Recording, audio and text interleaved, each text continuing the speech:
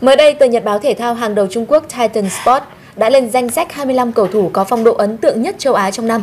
Trước khi rút gọn xuống 5 cái tên Trung cuộc, một lần nữa tiền đạo Nguyễn Tiến Linh của Việt Nam đã có tên trong danh sách này. Tiến Linh là một trong ba cầu thủ Đông Nam Á góp mặt lần này bên cạnh hậu vệ Therathon Bunmathan tuyển Thái Lan và tiền đạo Iksan Fandi Singapore. Đây là lần thứ hai Tiến Linh góp mặt trong danh sách đề cử quả bóng vàng châu Á. Năm 2022 chứng kiến Tiến Linh đạt phong độ cao cùng hiệu suất ghi bàn tốt. Anh ghi 9 bàn cho Bình Dương tại V-League 2022. Tại AFF Cup, Tiến Linh ghi 6 bàn thắng, qua đó cùng giành danh hiệu vua phá lưới. Với Terasi Đàng Đà. anh trở thành cầu thủ Việt Nam đầu tiên giành vua phá lưới tại AFF AFF Cup trong lịch sử. Giải thưởng quả bóng vàng châu Á 2022 được các nhà báo chủ yếu đang làm việc tại các cơ quan truyền thông châu Á bầu chọn.